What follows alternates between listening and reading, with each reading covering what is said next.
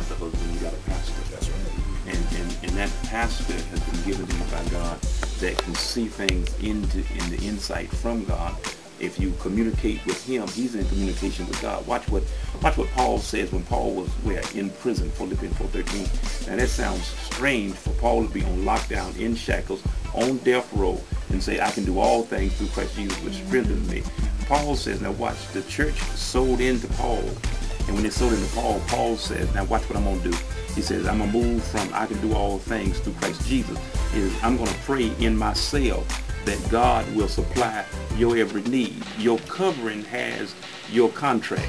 And then when you allow your covering to expose your contract, God will expose to you what he has for you to do. But you got to have the covering. You got to have so many times we can't get the com- communication because we don't have the conversation with the covering.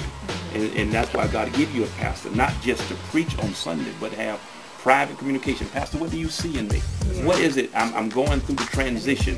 What do I need to do? And God will reveal unto him or her what it is to be poured into you. Now, watch. When he pour or she pour into you, it becomes your responsibility not to be afraid to pull back and to sow back into them. Yeah. And that's where a lot of folks miss the point.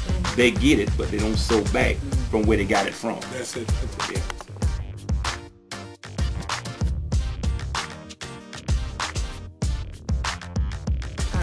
Bishop, any advice for singles that want to go out and start a business? What would be some of the first things that you would want them to do or suggest them doing? Well, real short. Okay. Starting a business, first of all, you gotta have faith in God and believe that God can work that particular thing out in your life. Now, if you look at the word faith, you have to understand it means it's really simple. It's giving God something you cannot afford in order for God to purchase something you can't buy. Mm. So you give God what you have. He in turn will purchase what you buy. So when you give that business idea to God, he in turn purchases everything that you need to make that business work. It starts all uh, with having faith in God and trusting Him and giving to Him first. And everything that you need, God supply.